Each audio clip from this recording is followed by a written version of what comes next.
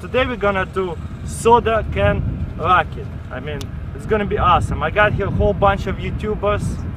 I'm Chuck Murray with Zombie Go Boom. I'm Charles Foltz, the Executioner. I'm Darren Dyke with Gizmo Slip and Beyond Slow Motion. I'm Alec with KGB Survivalist.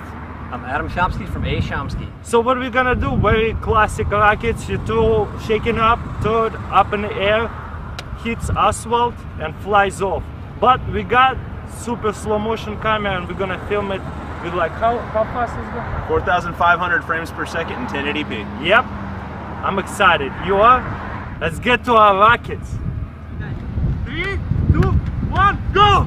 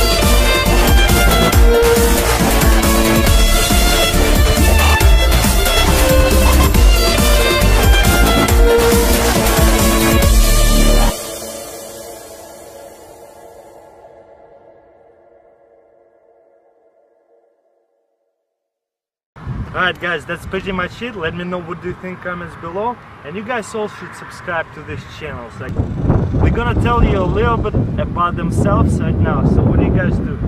Uh, we are Zombie Go Boom. We're one part Mythbusters, one part Deadliest Warrior, one part The Walking Dead. We teach you how to survive the zombie apocalypse with our very own ballistic gel heads, and we show you what weapons you need to survive.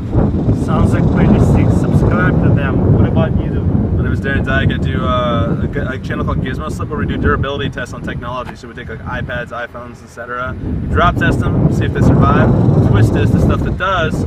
We give away to you guys. If it doesn't, we destroy it spectacularly. C4, dynamite, crazy stuff, ultra slow motion. It's epic. He actually invited us all to this place to shoot with this slow motion. So subscribe to him.